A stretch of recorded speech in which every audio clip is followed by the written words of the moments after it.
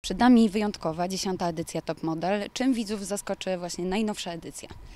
Że 10 lat jeszcze lepsze są osoby, że naprawdę tak, e, ja sama chyba i chyba wszyscy jurorzy nie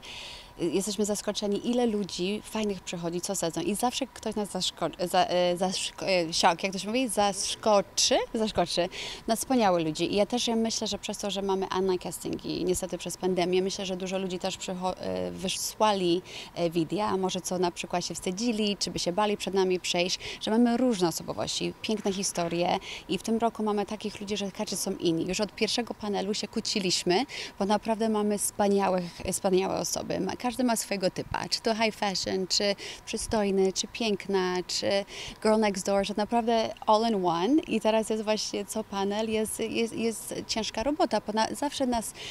często było tak, że wiesz, te pierwsze kilka pa, panelów, wiadomo kto odpadnie, bo jest, było widać róż- różnicę między sła, słabymi a mocnymi, a właśnie w tym sezonie zaskakują nas ci właśnie, co może na początku byli słabi i teraz coraz bardziej jest proces, a ci, co na początku, o wow, złoty bilet, czy to tamto, że będzie super i właśnie w drugą stronę idzie, że wiesz, nigdy nie możemy być 100% pewni siebie od początku na castingach, bo robią nam niespodzianki.